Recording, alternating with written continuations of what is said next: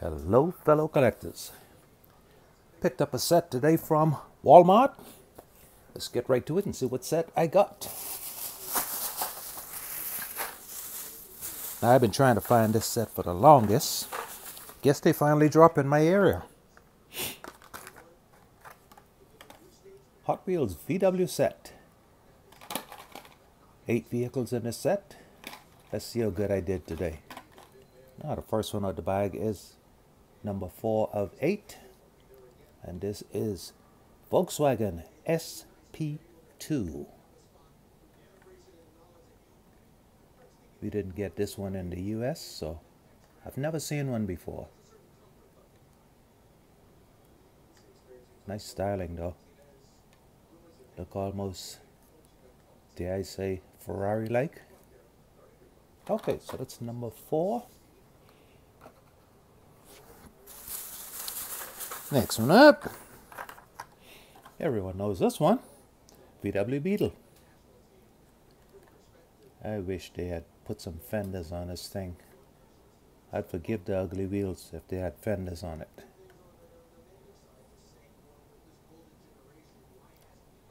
Number six of eight.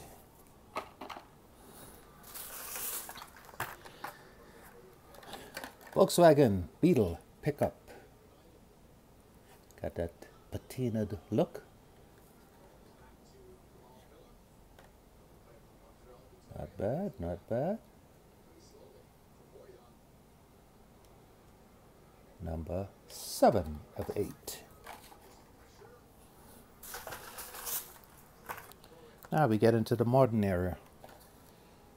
This would be a Volkswagen Scirocco GT24. Now this new Scirocco we didn't get in the US either. The old Sciroccos we did did get. And I do believe it's discontinued once again. Number three.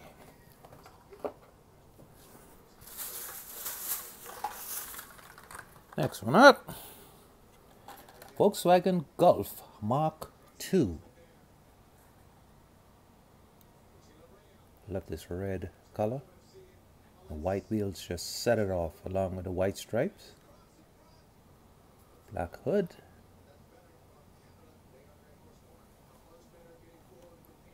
Not bad. Number eight. Let's put you up here for now and move you over.